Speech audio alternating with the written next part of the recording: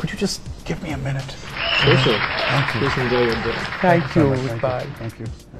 How wonderful. Do you remember the last time we were in Casablanca together? I do remember. And the I never time forget Simeon. I don't forget anything. you don't. I'm a very dangerous woman that way. I know that this quite concerning. But do you remember the last time we had our cocktail? How we had that cocktail? yes, I remember. Well, That I'm was happy wonderful. to see that your capacity to take big gulps hasn't changed. Speechless.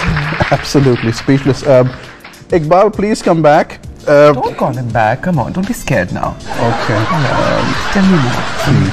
Tell me his life. Well, how's life life is- treating you? Well, life is treating me okay. It was a bit difficult after you left, but uh, you know things I think are getting back. But then seeing you again brings back all those old memories.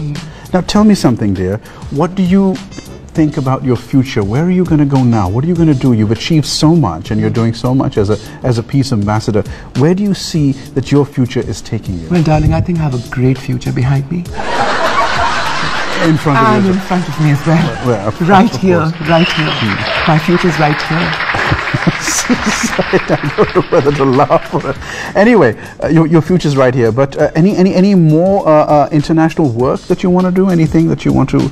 I think now I would like to have a nice, quiet, settled life. Hmm. Things that a woman needs. Hmm. You know, things that a woman hmm. wants. And that's what I want. So here, can you give me that?